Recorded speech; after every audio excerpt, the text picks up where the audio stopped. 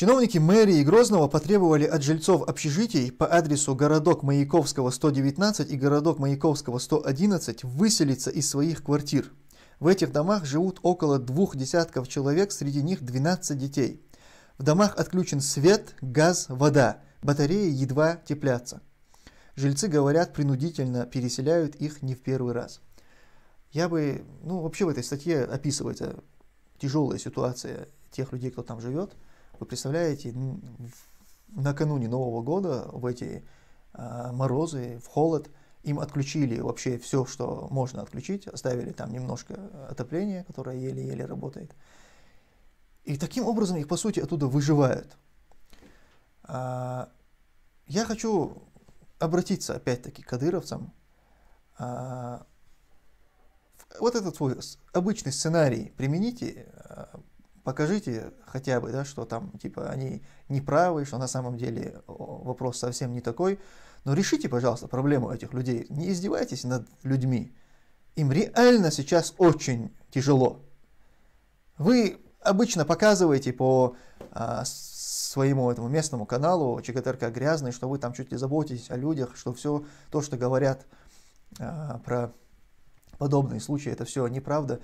Мы готовы закрыть на все это глаза, лишь бы вы сейчас сделали, а, решили проблему этих людей. Решите, пожалуйста, скажите, что это все было неправда, провокация, там, пусть они извинятся, скажут, что их бес попутал, но решите их проблему. И либо включите им это все необходимое, воду там и так далее, либо переселите их куда-нибудь а, в нормальные условия, но проблему решите людей. Ассаламу алейкум, брат Тумсо. Смотрю тебя полтора года, растешь на глазах. Ты уже ключевая фигура в чеченском народе. Иншаллах, у тебя будет блестящее будущее. Молю Всевышнего увидеть при жизни крах Кадырова, Алиева и их команды. Ва алейкум ассаламу рахматуллах, Азербайджанис, баракаллаху фик, брат. Ты как персонаж Волан-де-Морт из фильма «Гарри Поттер». Ты, ты тот, чье имя нельзя называть в Чечне. Это правда, и многие в Чечне, даже мои а, знакомые, друзья, и не только, они а, говорят обо мне на чеченском «цецайохкак», типа тот, чье имя не называется, это на чеченском. Типа «цецайох, чухума элитован», тот, чье имя не называется, там он типа что-нибудь сказал сегодня, вот такие задают вопросы. Поймите, нельзя Россию рушить, не, не станет сильной России, будет большая война, я не хочу воевать. И не думайте, что если разрушить Россию, Кавказ станет свободным, есть еще очень много мощных стран, они придут.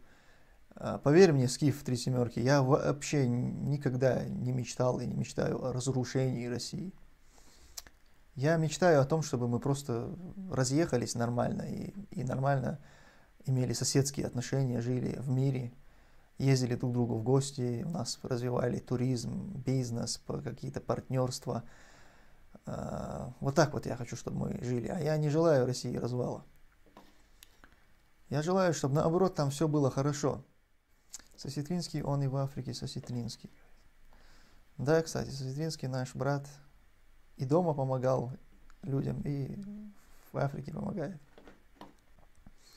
Да что не так с твоим модером? Напоминает бразильских копов, которые убивают парочку мелких дилеров и сквозь пальцы смотрят на преступления целых банд.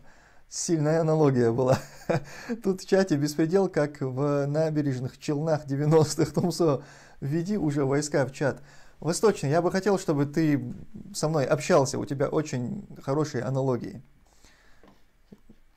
С тебя можно брать пример в аналогиях. Мне очень нравятся люди, которые Вообще это талант, это дар, когда ты можешь провести в нужный момент правильную такую уместную аналогию. Это очень круто. Это помогает людям осмыслить какую-то тему. Донателло, Тумсо, может ли быть кровавый конец кадыровцев в Чечне? Кровавый в смысле не война с Россией, а уничтожение кадыровцев народом. В теории все возможно. Как говорил Каддафи в своем интервью, народ говорил, меня любит, а потом с ним произошло то, что произошло. Поэтому это может произойти и с Кадыровым, и с Путиным это может произойти легко. В теории я имею в виду. Но ожидать ли нам это сегодня? Думаю, нет. Как думаешь, возможно, что прозвучит цинично, ситуация с взаимной высылкой членов дипмиссии между Россией и Германией может положительно отразиться на твоем дальнейшем статусе в Европе? Кстати, вот это действительно немножко циничная, конечно, тема рассуждения, но я здесь не, не то, что о себе буду говорить, это все-таки не, не столько касается моего дела, сколько тех, кто в Германии живет. И надо отметить, Зелимхан Хангашвили, да помилует его Всевышний Аллах, своей смертью он сделал уже какую-то продвижку вот, в деле чеченских беженцев в Германии.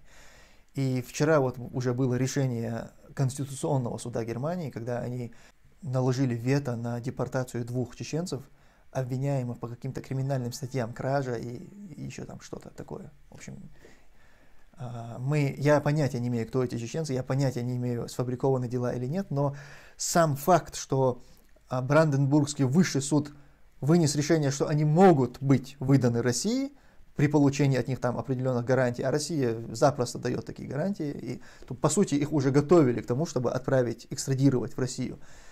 И вот сейчас Конституционный суд Германии, это вообще высший орган, он наложил вето и постановил, что Бранденбургский высший суд не прав, когда говорит о том, что при каких-то гарантиях они могут быть выданы, а, а там гарантии были, что их якобы не будут судить в Чечне, там не дадут Чечню, и вот Конституционный суд говорит, что это не является гарантией их безопасности даже то, что их будут в другом регионе России судить, это абсолютно никак, никак не гарантирует их безопасность.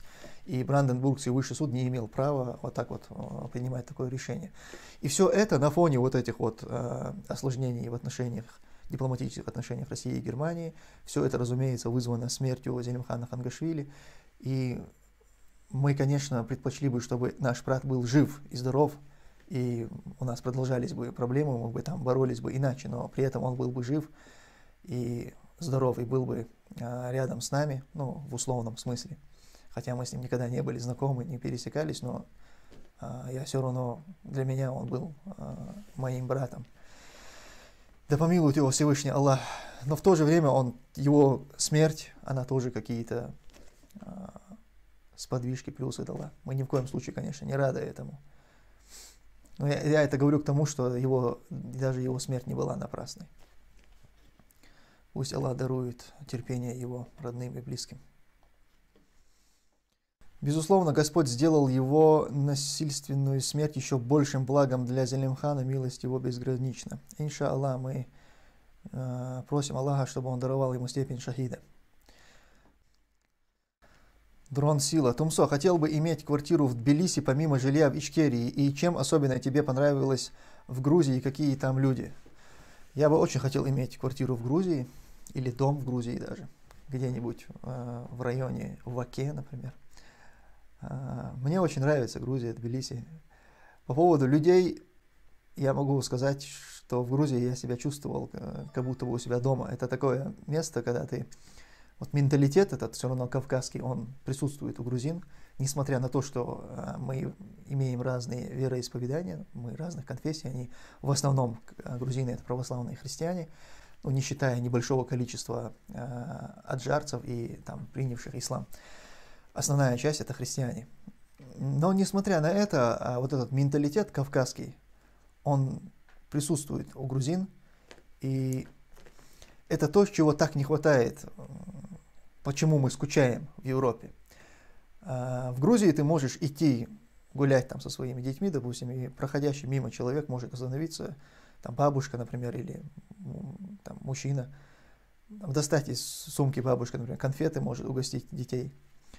А там мужчина, например, может на кассе увидеть твоего ребенка и а, что-то купить ему. Там, ну, конфету какую-нибудь, чупа-чупс. Это вещи, которых ты, ты никогда этого не встретишь ни в России, нигде, ни, ни в Европе. В Европе, наоборот, если ты попытаешься что-то какое-то внимание оказать ребенку, это может быть неправильно оценено даже а, родителями, и на тебя даже могут пожаловаться в полицию, что ты какой-то нездоровый знак внимания там, к ребенку а, проявил. В общем, это очень такая тема щепетильная, и вот по этим вещам ты как бы скучаешь. В Грузии никогда, как бы сильно ты не шумел у себя в квартире, там у тебя мог, может дискотека проходить, там никогда в жизни на тебя не пожалуется в полицию твой сосед. Никогда этого не произойдет. А, в Грузии у меня были очень шумные соседи, они там устраивали вечеринки, вот эти песни, пения грузинские, очень веселые были, кстати, очень дружили там с, с грузинами. Мы друг другу делали какие-то подарки, А, там мне приносили, допустим, грузины многие мед а, разводят пчел и собирают мед. И они могли, допустим, из своего нового там сбора этого меда угощали меня медом, там мы могли сделать что-то национальное и угостить там этим. В общем, очень дружно жили, и это вот, это вот тот самый такой кавказский менталитет, которого, к сожалению, в других местах его нет. И ты поэтому очень скучаешь. Ну и к тому же места очень живописные в Грузии. Тбилиси это такой город, где ты едешь э, по дороге и проезжаешь сначала такой новостройки, что-то новое, типа мегаполис, а потом раз и такой обрыв, по которому стекает родник. И ты как будто бы оказался где-то в горах. Настолько живописные места, и все это в рамках одного города.